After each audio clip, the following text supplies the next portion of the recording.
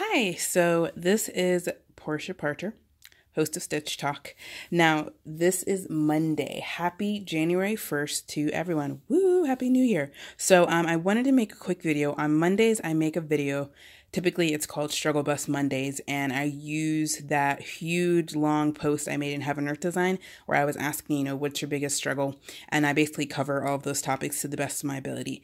Today's topic is based on a lot of um, tags I've been getting in the group in regards to ezPDF. So I just wanted to really quick just show you how you use ezPDF in regards to on the Android tablet or if you're on your computer and you're using um, BlueStacks to get to ezPDF that way. If you're wondering about BlueStacks and Windows and all that good stuff, I do have other tutorials as well, but I just wanted to take a quick couple of minutes and show you this. So obviously, on an Android device, you just want to get the ezPDF Reader, the Pro version. I've gotten it when it's free. I'm not sure if it's still available for free um, through Amazon Underground, but you'll have to check that out. But I definitely have um, the fancy version. I'm pretty sure I got it for free. So here's my chart here, and I'm allowed to show it to you because it is a freebie. So I'll just go ahead and open my chart.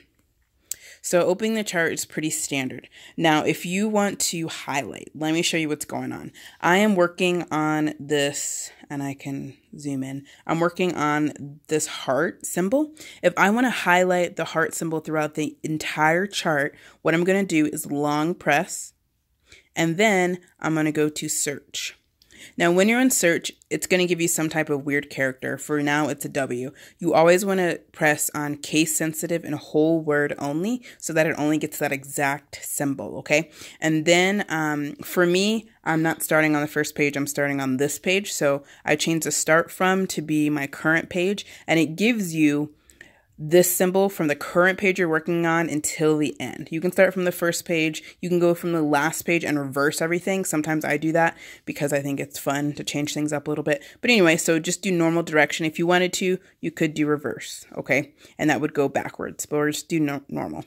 Now, this is going to highlight this lovely symbol on all of my pages. How cool. So now I'm going to go back to the page I was on and let's say I'm ready to highlight. You can see these options at the top. And this is an ezPDF review because I've done a million videos about how to do this, but I'm making a quick short one. Uh, let's say I stitch this. So what I want to do, first of all, there are a couple options here. You want to click on, hold on, let me show you. You want to click on the one that has the C and the orange dealio. Because what you're going to do is you're going to go ahead and highlight that. All I did was click on it, technically. So I just click on it, I highlight, I highlight. Now, if you want to delete highlights, all you're going to do is you see that, you're just going to go tap, it disappeared. Then you're going to go tap, it disappeared. And then you're going to go tap again, and it disappeared. Okay, that is a simple way to highlight and unhighlight. Don't really mess with any of these other things because I honestly don't know what they do. I know this one is like evil. It like makes them permanent and makes it like pretty much impossible to get the highlight off. But yeah, um there's some other ones like if you stitch with blocks, if you do full blocks, you could do something like this. If you're done with the block, actually, hold on. Let me show you how to delete that. So I'm going to go ahead and delete that. Um, there's I think it's this one. No, there's one where you like shade it. Let's see. All right, so now if you go thickness, let's say here, it's going to, no, that's not it. There is one where you can actually shade the box, and I thought it was,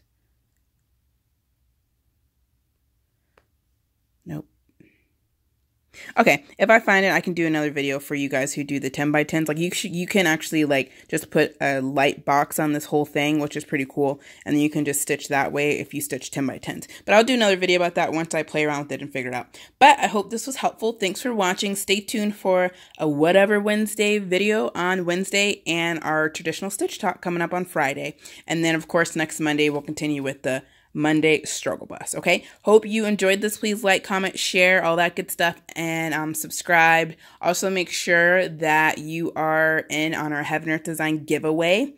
Um, check out the links for that on my page as well. All right. Talk to you later. Bye.